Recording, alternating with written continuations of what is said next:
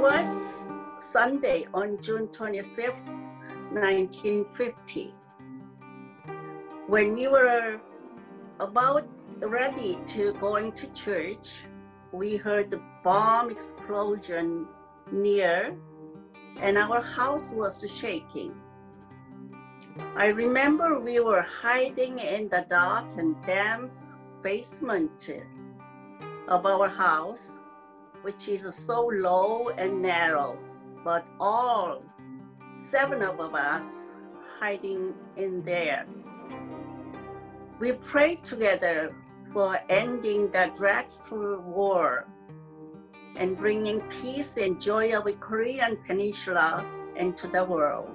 Why does peace in Korean Peninsula matter for me?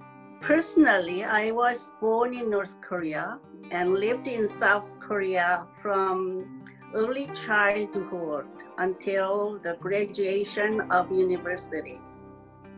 During those years, I, I have not seen or known what peace is like because the threat and fear of war had been so imminent.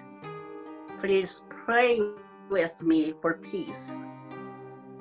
한반도의 평화를 위해서 같이 기도해 주시기 바랍니다.